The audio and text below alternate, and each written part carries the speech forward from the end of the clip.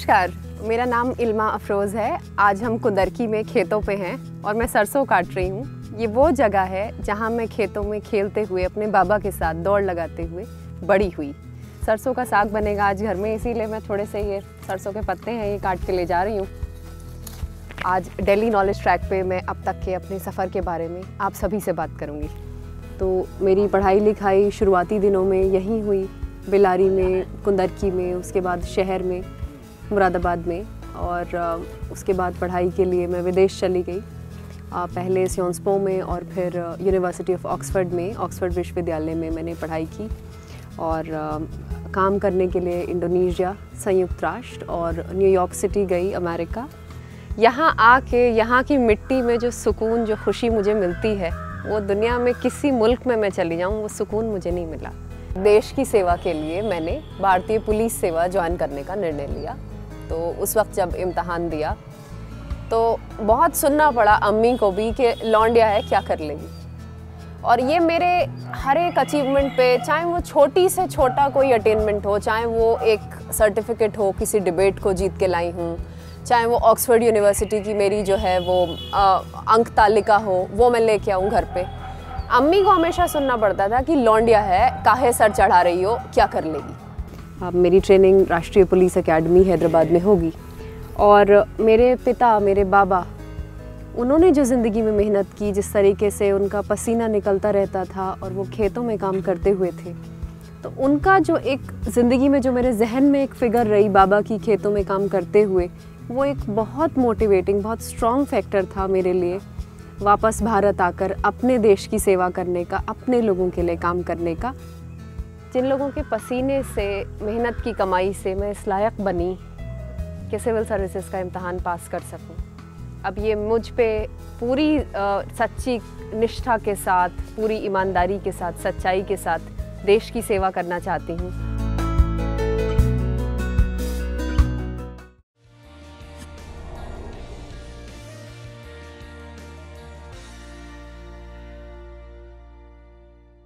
नमस्कार मेरा नाम इल्मा अफरोज़ है।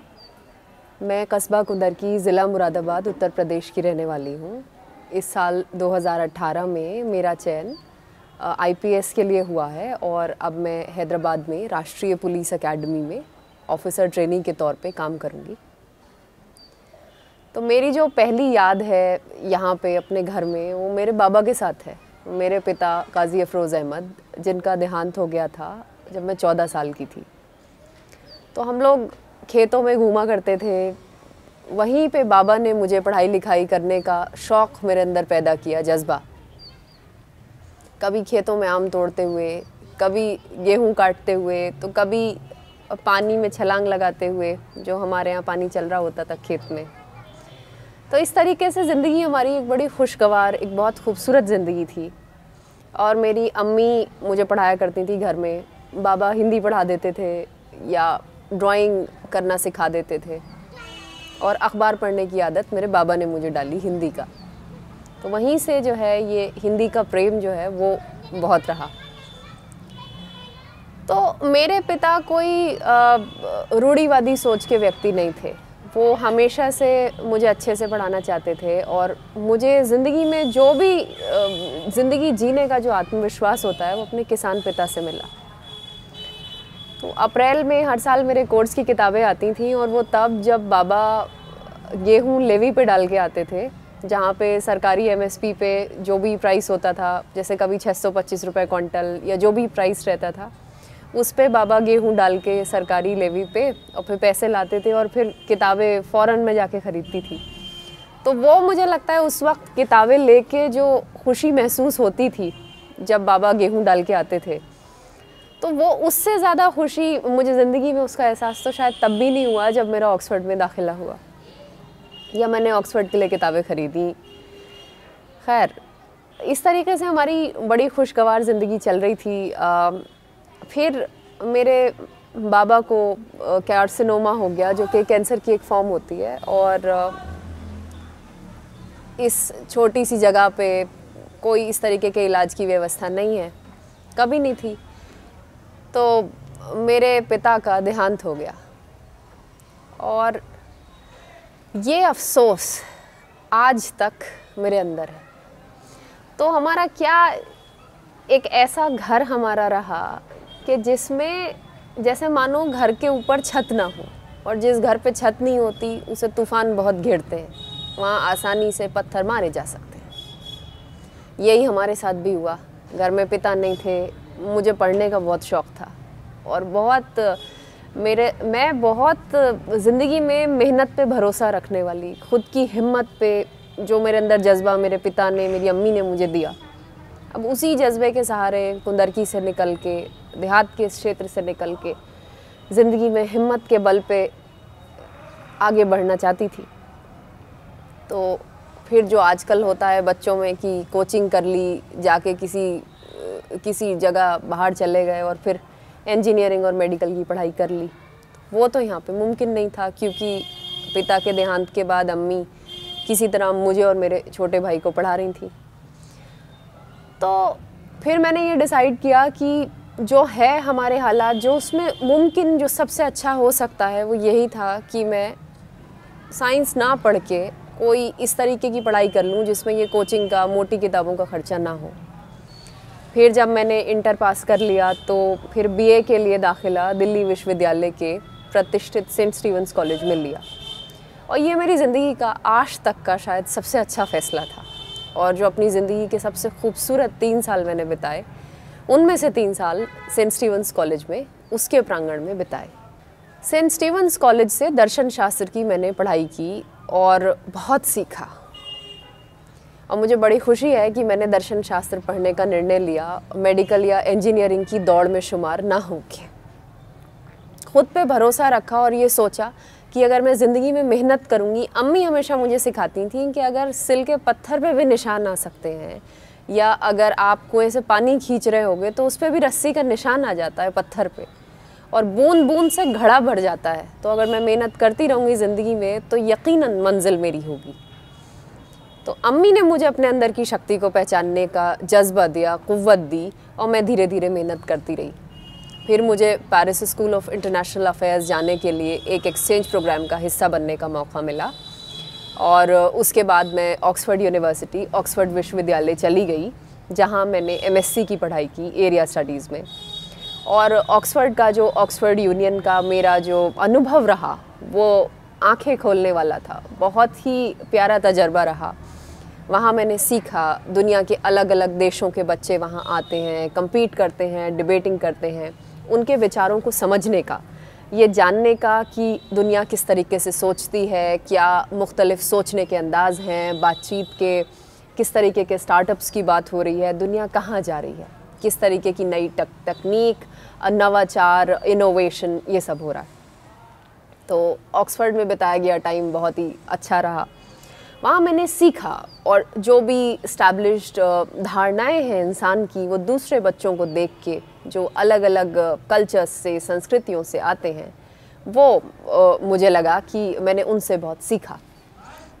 और उसके बाद मैं संयुक्त राष्ट्र के लिए काम करने बोर्नियो, इंडोनेशिया चली गई, सेंट्रल कलिमंतान में। वहाँ मैं कोटा पलंगराया में रहती थी और उसके बाद फिर मैं न्यूयॉर्क सिटी, अमेरिका चली गई। तो न्यूयॉर्क में मैं रहती थी डाउनटाउन मैनहट्टन में। आ, ये वॉल स्ट्रीट वाला इलाका है फाइनेंशियल डिस्ट्रिक्ट वाला जो दुनिया का आर्थिक एक आर्थिक मैग्नेट की तरह काम करता है। और वहाँ पे वॉल स्ट्रीट का जो मेरा जो घर था जहाँ मैं रहती थी फ्लैट में तो वो एक ऊँची सी इमारत थी उसमें रहा करती थी। और बहुत ही खूबसूरत जो है वहाँ से सामने से एम्पायर स्टेट बिल्डिंग जो मिड टाउन मैनहट्टन में है वो दिखती है। तो रात को वो रंग बदल रही होती थी और जब मैं अपनी ऐसे दीवार जो थी एक तरफ़ की, वो जैसे यहाँ पे तो ये है, वहाँ ऐसे शीशे की दीवार पूरी। उससे मैं झांका करती थी तो वो एम्पायर स्टेट बिल्डिंग सामने रंग बदलती हुई, खूबसूरत सी दिखती थी। तो मेरी ज़िंदगी का जो कॉन्ट्रास्ट था, यहाँ बान के पलंग वाली ज़िंदगी, छप्पर वाली ज़िंदगी छप्पर के तले और वहाँ पे midtown downtown Manhattan की जो मेरी लाइफ थी, वो बहुत कॉन्ट्रास्ट था। लेकिन जो लोग मेरी ज़िंदगी में माने रखते हैं, जिनकी मुझे ज़रूरत थी, जिनसे मुझे बहुत मोहब्बत है, मेरा देश, मेरी अम्मी, मेरा छोटा भाई, वो लोग सब भारत में। तो अमेरिका से वापस लौटकर, अम्मी की सेवा के लिए, देश की सेवा के लिए मैंने भारतीय पुलिस सेवा ज्वाइन करने का निर्णय लिया। तो उस वक्त जब इम्तहान दिया तो बहुत सुनना पड़ा अम्मी को भी कि लौंडिया है, क्या कर लेगी? और ये मेरे हर एक अचीवमेंट पे चाहे वो छोटी से छोटा कोई अटेनमेंट हो चाहे वो एक सर्टिफिकेट हो किसी डिबेट को जीत के लाई हूँ चाहे वो ऑक्सफोर्ड यूनिवर्सिटी की मेरी जो है वो आ, अंक तालिका हो वो मैं लेके आऊँ घर पे। अम्मी को हमेशा सुनना पड़ता था कि लौंडिया है काहे सर चढ़ा रही हो क्या कर लेगी? तो यही सिविल सर्विस की तैयारी के दौरान हुआ जब मैं संघर्ष कर रही थी तैयारी के लिए दिल्ली में कोशिश कर रही थी पढ़ने की यहाँ पे भी घर पे भी। तो अम्मी ने हमेशा मुझे हौसला दिया कि खुद पे हिम्मत रखो और उसका नतीजा बहुत अच्छा होगा। तो सिविल सर्विस की तैयारी में भी कई तरीके की दिक्कतें आईं। लेकिन हिम्मत रख के, आत्मशक्ति पे भरोसा करके और भारत का जो हमेशा मेरे दिल में जज्बा रहा कि मेरा जो अनुभव है, जो मेरी शिक्षा के ज़रिए मैंने हासिल किया, काम का जो मैंने तजुर्बा हासिल किया, जो दुनिया देखी, उसका फ़ायदा मेरे लोगों को हो, भारत को महात्मा गांधी का एक तलिस्मान है जो एन की किताबों में जैसे ही आप खोलें, सबसे पहले लिखा हुआ होता है कि अगर आप किसी दुविधा में पड़ जाएँ तो सबसे पहले उस व्यक्ति को याद करें जो सबसे दरिद्र हो और सबसे अंधेरे कोने में गाँव में हो। अगर मैं चाहती तो मैं मैनहट्टन में रह सकती थी, विदेश में कहीं कुछ और काम कर सकती थी अलग अलग वतनों में अलग अलग जगहों में मैं रही। फ्रांस में भी रही, इंग्लैंड में भी रही, अमेरिका में रही, इंडोनेशिया में होती थी। मगर जो खुशी मुझे भारत की ज़मीन में मिली, मिट्टी में मिली, आखिर इसी मिट्टी से आए हैं, इसी मिट्टी में लौट के जाना है। तो जो हूँ, देश की सेवा के लिए हूँ। तैयारी में दिक्कतें आती थीं, लेकिन अम्मी ने हमेशा सिखाया कि करत करत अभ्यास के जड़मती होत सुजान। कितनी मेहनत कर, इतनी कर कि कभी ज़िंदगी में शिकायत न रहे कि मैं और कर सकती थी, मैंने किया नहीं। जब मैं पाँचवीं कक्षा में थी, दस साल की थी, तब पता चला कि बाबा को कार्सिनोमा है। मेरे को कार्सिनोमा पढ़ना नहीं आता था जो उनकी रिपोर्ट आई थी। तो जब बाबा ने जब बायोप्सी कराई तो कैंसर का उनका इलाज हुआ। लेकिन जब उनका देहांत हो गया तो हमारा उसमें काफ़ी इलाज में जो है, बिल्कुल एक तरीके से जो है, घर खाली सा हो गया था। जब बाबा नहीं रहे तो जैसे होता है ना कि घर पे छत नहीं है और जिस घर पे छत नहीं उसे तूफ़ान घेरते हैं। उसमें आसानी से कंकड़ पत्थर मारा जा सकता है। उसे तूफ़ान घेर लेते हैं, कोई बचाने वाला नहीं होता। जैसे खेत में फ़सल पड़ी है तो जिसका मालिक ही नहीं है तो उसे उठा के भी लाने के लिए और ज़्यादा दिक्कतें होती हैं, जो बाबा के ज़िंदा रहते कभी नहीं थी। और जब मैं शहर को पढ़ने जाती थी तो अम्मी सुबह को रोटियाँ घी लगा के लपेट के दे देती थी कि ये खा लिए। और बच्चे शहर के किस्म किस्म का नाश्ता लाए थे वहाँ। लेकिन हमारे इतना नहीं होता था। लेकिन अम्मी ने ज़िंदगी में ये चीज़ हमेशा से मेरे अंदर डाली कि तू जो है, काबिल है। अपनी काबिलियत से पहचानी जा, अपने लाए हुए रोटियों के साथ क्या है, इससे नहीं। जब स्कूल में कभी समर कैंप लगता था और बच्चे किस्म किस्म के कपड़े पहन के आते थे। लेकिन मेरे पास जब कुछ नहीं होता तो दो ही शलवार कमीज़ थे, अफसोस भी होता था। तो जो स्कूल की वर्दी है, वही पहन के चली जाती थी समर कैंप में। लोग मज़ाक भी उड़ाते थे, हँसते भी थे। मुझे भी मालूम था कि ज़िंदगी जो है, एक दिन ज़रूर उजियारा लेके मेरे लिए आएगी, और उम्मीद मैंने कभी छोड़ी नहीं। एक बार हुआ ऐसा कि जब ऑक्सफोर्ड में पढ़ रही थी तो बर्फ़ पड़ रही थी वहाँ। अब जो यहाँ से जो शॉल और जो सूटर यहाँ से लेके गई थी, वो ठंड में काम नहीं कर रहा वहाँ की। ऐसे शॉल, सूटर पहन लिया उसमें। तो फिर किसी तरीके से वहाँ पार्ट टाइम जॉब की, फिर जाके जो है कोट ख़रीदा, लंबा वाला। तो ज़िंदगी में चाहे तो वो तूफ़ान आया हो, चाहे बर्फ़ पड़ी हो इंग्लैंड में तो चाहे वो यहाँ बस से जाना हो शहर पढ़ने के लिए, चाहे वो कभी और कोई दिक्कत घेरी हो, अम्मी ने हमेशा हिम्मत रखनी सिखाई। जब अम्मी मुझे पढ़ा रही थी और मैं दिल्ली चली गई सेंट स्टीवंस में पढ़ने और भैया भी मेरा छोटा भैया किरोड़ीमल कॉलेज में पढ़ने चला गया। अम्मी इतने साल तक अकेले रहीं घर पे और हमेशा सुनती रहीं कि लौंडिया को पढ़ा के क्या कोई तीर मार लेगी, क्या कर लेगी, क्या ही है, कद्दू में तीर थोड़ी लगा है और जान चीज़ होती है लौंडिया, पराई चीज़ है। क्या कर लेगी तुम्हारी लौंडिया? अम्मी ने उन चीज़ों को कभी भी जो है अपने ऊपर हावी नहीं किया। अम्मी को भी तकलीफ़ होती थी। मेरी अम्मी ने मुझे याद नहीं पड़ता कि कभी अपने लिए कोई स्वेटर भी ख़रीदा होगा। इसलिए कि मेरे पास गर्म कपड़े आ सके। मेरे भाई ने बहुत सेक्रीफाइसेस की मुझे बनाने के लिए, पढ़ाने के लिए। जब मैं जा रही थी विलायत तो साथ में ले जाने के लिए करेंसी बदल के कुछ हाथ में पैसे होने चाहिए। स्कॉलरशिप तो जब बैंक अकाउंट खुलता है, कुछ दिन बाद ही आती है, उसमें लग जाते हैं चार पाँच वर्किंग डे तो मेरे भाई ने अम्मी से कहा कि इसके दहेज की ना सोचें आप अम्मी, और अगर कुछ इसके लिए बचा के रखा हो दहेज के लिए तो अब दे दें, ताकि मेरी बहन पढ़ सके। और जाते हुए मुझे याद है, दो यूरो उसने मुझे दिए थे।